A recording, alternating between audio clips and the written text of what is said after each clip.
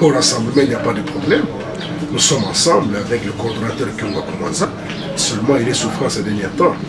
Entre Moïse Katumbi et Philippe Sekeli, ça ne pose pas de problème. Il y a eu même un communiqué qui a été signé conjointement, là où ils disent que nous ne devons pas suivre la distraction, la voie de la médiocrité pourrie, pour ne pas dire MP. Ils sont en train de faire des intox pour, pour distraire la population congolaise.